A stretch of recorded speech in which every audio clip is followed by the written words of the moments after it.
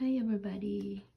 We all know each child is different and so we don't compare about others what we have experienced and even some moms they have their child already potty trained before one and ours can be uh, longer so we are kind of like getting anxious and kind of worried but no don't be worried.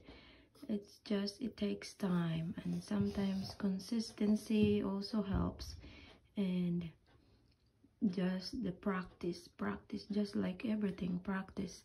And um, don't compare yourself to other moms and or compare your child to other child because it takes time all right hope you guys enjoy.